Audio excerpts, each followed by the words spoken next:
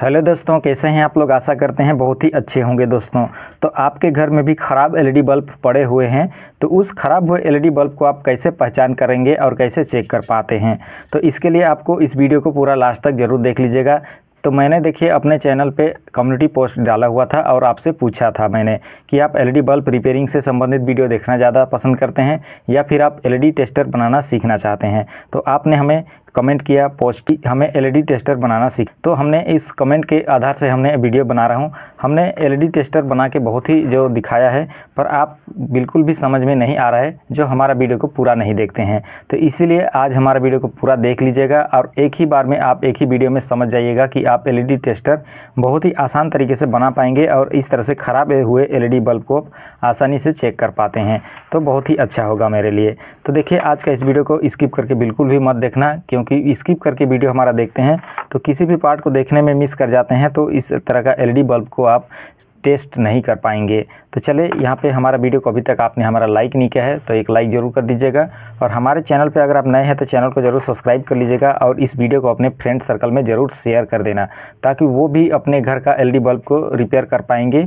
LED tester की सहायता से। तो चलिए मैं यहाँ पे आपको दिखाता हूँ और इस तरह को सभी को मैं बना करके चेक करके आपको दिखाने वाला हूँ।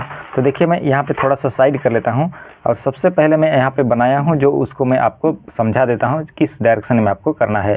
तो यहाँ पर देख सकते हैं आपको सबसे पहले ब्रिज रेक्टिफायर बना लेना है या फिर आप किसी भी तरह से आप सर्किट से यहाँ पे देख सकते हैं, इस तरह से ये ब्रिज रेक्टिफायर डायोड जो है। तो इसको भी आप निकाल सकते हैं, आप ख़राब एलईडी बल्ब का देख सकते हैं, ब्रिज रेक्टिफायर डायोड।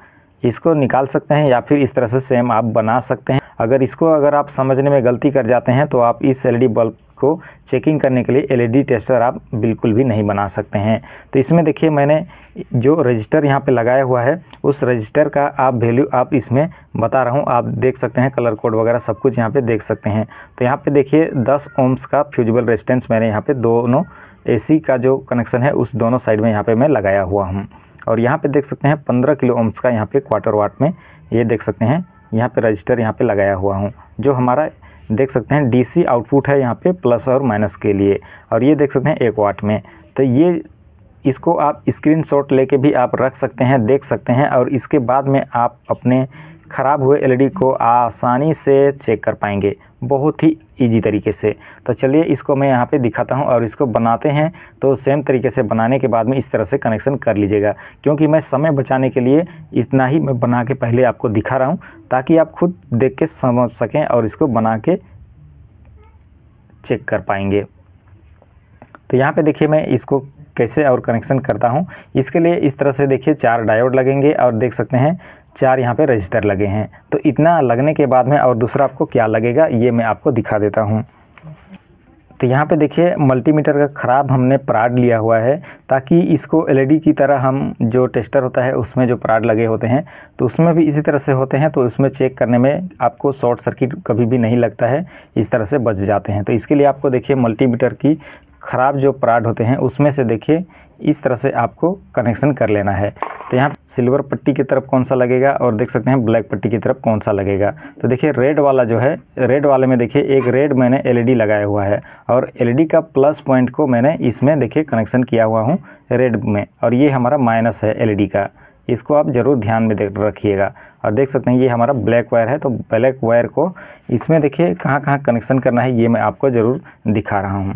तो इसमें देख सकते हैं कि ये हमारा प्लस है और माइनस कौन सा है। तो देख सकते हैं यहाँ पे हमारा ब्लैक ब्लैक जो है, इस साइड में है और यहाँ पे सिल्वर पट्टी जो है, इस साइड में है। तो सिल्वर पट्टी में हमें क्या मिलेगा? प्लस पॉइंट मिलेगा। तो प्लस पॉइंट मिलेगा तो हम इसको यहाँ पे कनेक्शन करेंगे। और देख सकते हैं इस तरह से मैंने इसको कनेक्शन कर रहा हूँ। ये हमारा माइनस पॉइंट है तो इस तरह से देखिए माइनस को माइनस में कनेक्शन कर देते हैं। तो यहाँ पर देख सकते हैं मैंने इसको कनेक्शन कर दिया हूँ। आप देख सकते हैं, इसमें हमारा एसी का कनेक्शन यहाँ पे है और दूसरा यहाँ पे है। और इसमें देखिए, हमारा ये प्लस भाग है, जो प्लस को इस तरह से इसमें कनेक्शन किया हुआ हूँ। और देख सकते हैं, इस साइड भी है हमारा माइनस है।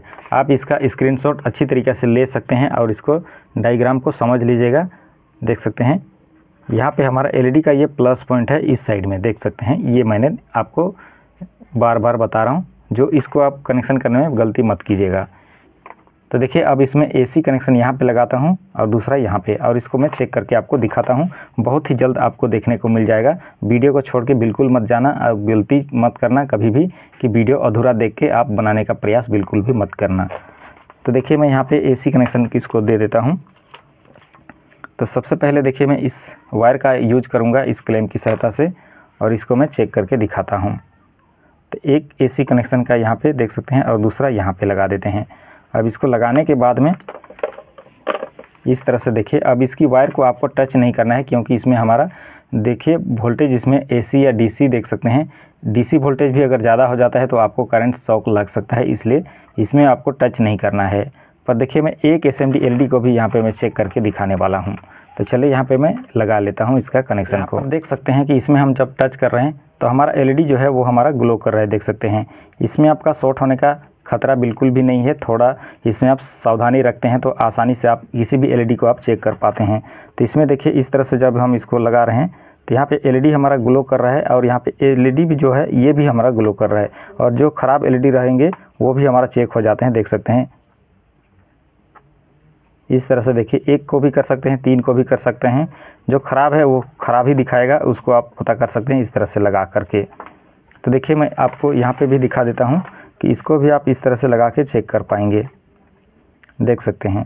तो ये जो प्लेट है, इसमें भी आप लगा के चेक कर सकते हैं। कोई दिक्कत नहीं है, आप यहाँ पर अच्छी तरीक़े से इसको भी कर सकते हैं।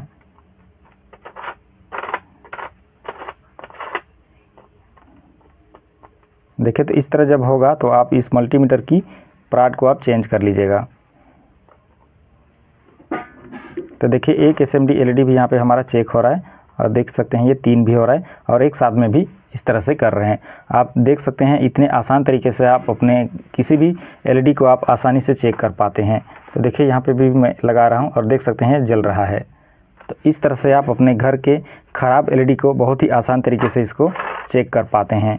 तो उम्मीद करता हूँ दोस्तों ये वीडियो आपको अच्छा लगा होगा दोस्तों तो हमारे वीडियो को एक लाइक ज़रूर कर दीजिएगा दोस्तों, क्योंकि मैं इसी तरह का वीडियो आपके लिए हर रोज़ बनाते रहता हूँ दोस्तों।